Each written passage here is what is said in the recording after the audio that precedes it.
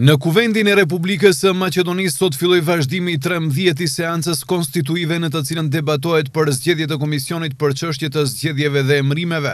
Në seancë u dërguan edhe apele që partitë të gjejnë fuqi për dalje nga kriza, sipas të cilëve shumë kohë është zgjatur.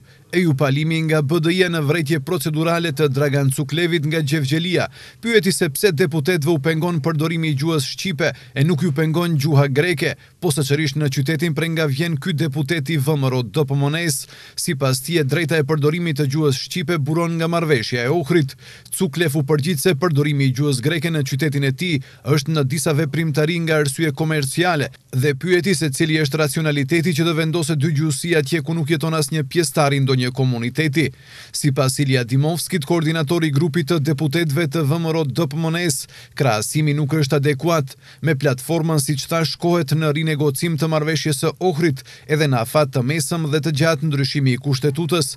Lidhur me përdorimin e gjuhëve, Dimovski theksoi shembull nga e enjtja e kaluar në Gostivar, ku në hapje të urës është përdorur shkrim jashtëzakonisht vetëm në gjuhën shqipe dhe pa përkthim në gjuhën maqedonase, edhe pse në qytet jetojnë mbi tridhjetë për qind maqedonasë dhe popullatë të numërt turke.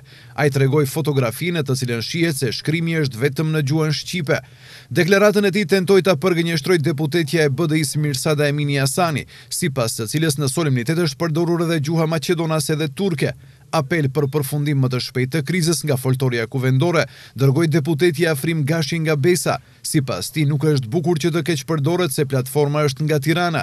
Kjo është deklaratë e përbashkët e partive shqiptare në Maqedoni dhe është miratuar në Shkup më shtatë janar të vitit dy mijë e shtatëmbëdhjetë, tha Gashi. Apel për heqje dorë nga fjalimet e tyre dhe përfundim më të shpejtë të seancës edhe një herë dërgoi edhe kryetari i Kuvendit, Trajko Veljanovski.